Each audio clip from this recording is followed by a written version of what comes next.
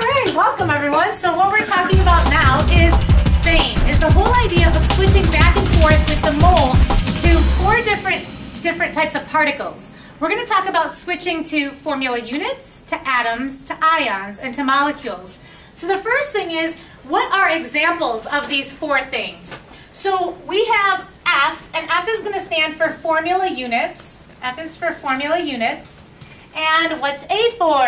Atoms. Atoms. Very good. And I is for ions. And then M is for molecules. Okay. So this was just something that I came up with just so that you could see what those four units were that we talk about.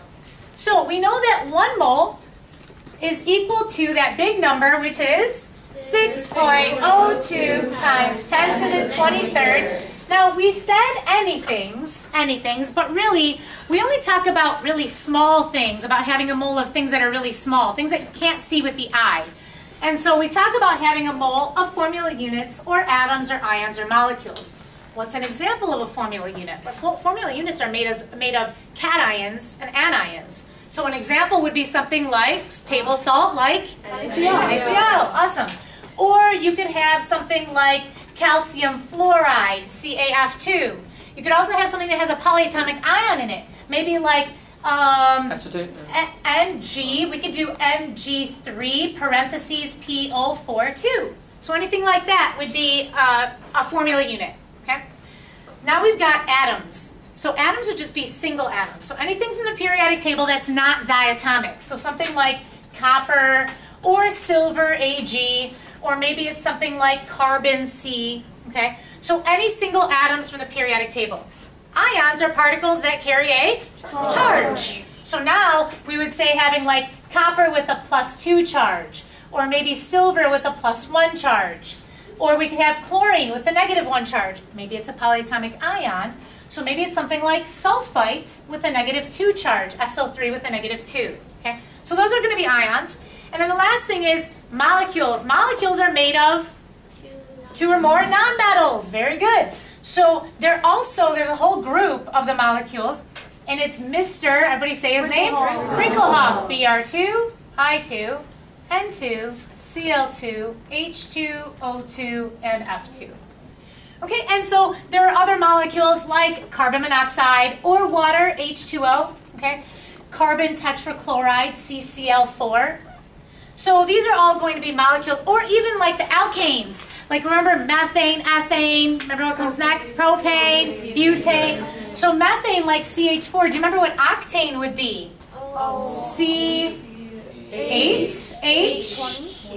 You're close. Good, 18. Awesome. You times 2 and plus 2. Okay? So those would also be considered molecules. So now we're not talking about molar mass. We're not talking about liters per mole. So we do have a ratio for liters per mole, and we have a ratio if you're trying to change from grams to molar, moles to grams. But now, what if you're trying to change from one of these to moles, or the other way? So now this question says, how many atoms are in 4 moles of tin? So if I told you that I had a container that had 4 moles of tin atoms in it, and I wanted to know actually how many atoms there were, well, that's pretty easy, because if you know how many 1 mole is, what's 1 mole? 6.02 times 10 to the 23rd, then how can you do 4 moles? Just times by 4. But we're going to do these bridges just because I want to ensure that you're going to do it properly when you have 5. Okay? And that way you know that if it's going 5 across that you're doing everything properly. So we're going to circle atoms in the margin. And we're going to write 4.00 moles of tin, which is SN. We're going to throw in a bridge. And the last step is cross your units opposite. So moles of SN. All right, well, the ratio is how many moles? One mole. And how many particles? We're looking for atoms.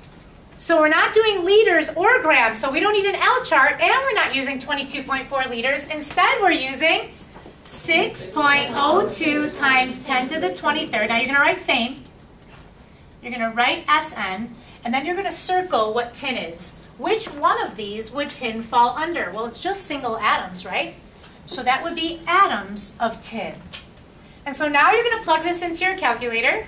And if you plug this into your calculator, you're going to get 2.408 times 10 to the 24th. And now That's atoms, so I'm going to use the A, that's atoms of tin. Now, we know that this answer is not done yet because we have to do our Sig figs. Okay, so how many sig figs in 4.00? Zeros to the right? Yep, so three, good. And 6.02? That zero's trapped, so three. So we've got three, three, so we want to round this to three sig figs, which makes it 2.41 times 10 to the 24th atoms of tin. Okay, and really you just plug this into your calculator, so you don't need to do any of that in your head. Now let's try this one. This says how many molecules, so MOLC, which is weird, is the abbreviation for molecules. Mol, mol is MOL, and MOLC is molecule, are in 4.00 moles of chlorine gas. But chlorine gas is not Cl, it's Cl2, because it's part of Mr. Brinkelhoff. Throw in a bridge, cross your units opposite, I've got moles of Cl2. Well, it doesn't matter. One mole is always how many particles? 6.02 times 10 to the 23rd FAIM, F-A-I-M, Cl2. So now you have to circle what Cl2 is. Well, where would Cl2 fall? Molecules, good. Cl2 is actually a molecule, which is great because I wanted molecules. So I would do the same calculation in my calculator, and again, I would get 2.408, and I'm going to round it to 3 sig figs because it's the same exact thing. So I'm going to get 2.41 times 10 to the 24th. Now it's molecules of Cl2. So that's a 2.41. Okay. Now it says, how many atoms of chlorine is this? Well, it's not CO2 anymore because now I want atoms. So here's a question. If I had five Cl2 molecules, five Cl2 molecules, that could look something like this. ClCl, ClCl, ClCl, ClCl, and ClCl. Each one of these dashes is representing a bond. So if I have five of these, the question is, how many atoms do I have of Cl? Ten. Very good. There are two for every one. So what ratio can you come up with? Could you say in every one molecule, in every one molecule of Cl2, what's my ratio? For every one molecule of Cl2, there are two atoms of Cl. That's a ratio. And a ratio you can write as numerator denominator. And it can be flipped depending on how you need it. So what we're going to do is, we're going to take this answer here, because we were already in molecules, so there's no need to start back at moles. So I'm going to start with 2.41 times 10 to the 24th molecules of Cl2, and I'm going to throw in a bridge. And cross my units opposite molecules of Cl2. And now I'm just going to use that ratio that we just came up with. In one molecule, how many atoms do I have? Two atoms of Cl. My molecules will cancel out, and I'm left with atoms, and so I get 4.82 times 10 to the 24th atoms of Cl. Okay? Okay, so now we've got the last problem here, and this is asking how many total atoms are in 0.5 grams of tin 2 chloride. This is probably the hardest type of problem that you're going to get. So the first thing is we're going to circle what we want, which is total atoms. So now we're looking for the total number of atoms. We're going to write what we've got. We've got the 0.500 grams of tin 2 chloride, which again, we already talked about this, was SN with a plus 2 and Cl with a minus. So when you crisscross it, you get SnCl2. Then we're going to throw in a bridge, and we cross our units opposite. So we've got grams of SnCl2 down on the bottom. Okay, so if we're in grams, we have three sets of ratios that we can use. One thing that we can do is if we look at the periodic table, we've got this red number, and that red number tells us how many grams there are per, remember, per mole. So that's grams per mole. And they call them AMUs, but that's grams per mole. And anytime that you need a ratio and you need to switch between grams and moles, or moles and grams, that's what you're going to end up using. Now, the other thing that you can do is we talked about liters per mole. And so up on the top of this page, we were talking about the fact that if you have a box that's 22.4 liters, that represents one mole as long as you have a gas at STP. So that's if you want to get a ratio from either liters to moles or moles to liters. Then you're going to use this one. The last one that we talked about is right now. We're saying one mole is 6.02 times 10 to the 23rd FAIM. And FAIM is formula units, atoms, ions, or molecules. So if we come down here, we're starting with grams. And so the first ratio that's going to help us is first going from grams to moles. And how do we go from grams to moles? We have to use an L chart. So I'm going to L chart this. So over on the side here, now we did it on the page before, but over on the side here, I'm going to do a quick little L chart. So we're going to inventory this. We've got SN and CL. So it's 1 and 2. And so we look at SN and it's 118.7 and we route to the tens place and CL is 35.5. And so I've got 118.7 plus 71, so it's 189.7 grams for every one mole. So if that's the case, then it's not one gram, it's 189.7 grams for every one mole. So again, this ratio could be flipped. It's almost like saying that you've got 60 seconds in a minute. You could say one minute is 60 seconds, or you could say 60 seconds is one minute, but you cannot say 60 minutes in one second. So it's the same thing. It's actually incorrect to say 189.7 moles for every one gram. That doesn't make sense. So it's always one mole, and then the grams go with the, um, the number goes with the grams. So now I'm in moles of SnCl2, but I'm not done. Because I don't want moles, I want atoms. So now I'm going to write moles across on the bottom, because when you write it across, it'll cancel out. So now I'm in moles, and I know that I can go from moles to atoms by using fame. So I'm going to say 1 mole is 6.02 times 10 to the 23rd FA I-N. And this is SnCl2. Okay, well here's the problem. SnCl2 is not an atom. So if we go back up to our FAIM chart, SnCl2 would fall under a formula unit, and the reason why is, if it's made of a metal and a non-metal, then that means that it's going to be a formula unit. So I'm going to come down here, and I'm going to say that this is a formula unit. So that means I'm not done because I want atoms, but I'm in formula units. So now I've got one more step left to go.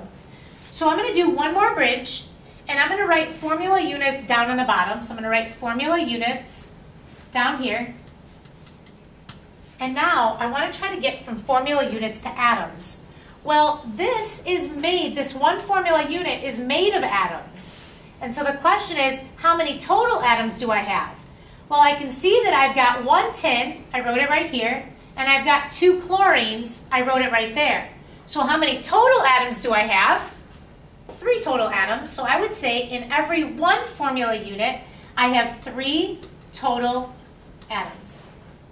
So now all we're going to do is we're going to multiply and divide. So in my calculator, I'm going to say 0.5 times the 6.02 times 10 to the 23rd times 3 times 1 also, but you can ignore that. Then you want to divide by the 189.7. So divided by the 189.7, divided by 1, divided by 1. And I'm going to write this small. I'm getting 4.760147, and it keeps on going, times 10 to the 21st. Okay, let's do our sig figs. Zeros to the right, as long as there's a decimal in sight, that's 3. This is 4 right there. All those numbers are uh, 1 to 9. This zero is trapped, so that makes it 3. This here you don't count because it's a count. Anytime you count something, it's exact. So it's an infinite number of sig figs, meaning that that's just not 3. It's 3.0000000 on forever. So if I look at which one's the least, 3, 4, and 3, or infinite, the least one would be 3. So I'm going to put round this to 3 sig figs. 1, 2, 3, and look there.